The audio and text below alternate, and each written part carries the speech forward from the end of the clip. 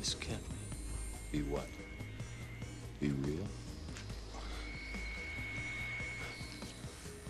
Metaphysics is the branch of philosophy that asks the question What is real? How do you define real?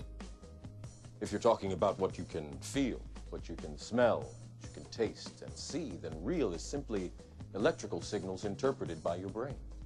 These questions of casting doubt on all of our knowledge was the first step in tearing down our knowledge, reducing it to its foundations, and then building it back up again. Rene Descartes, he was one of the great Renaissance geniuses. Descartes was amazing. He was a great scientist and a tremendously imaginative and resourceful scientist. I think no scientist has ever been more ambitious. He thought he had a theory of everything. You know, he saw himself ultimately as a natural scientist, and philosophy for him was just part of his program.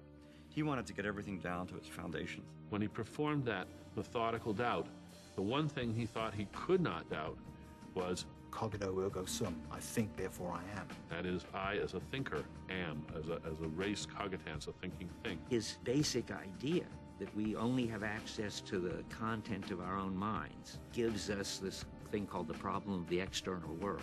The Matrix is everywhere. It is all around us. Even now, in this very room. You can see it when you look out your window or when you turn on your television.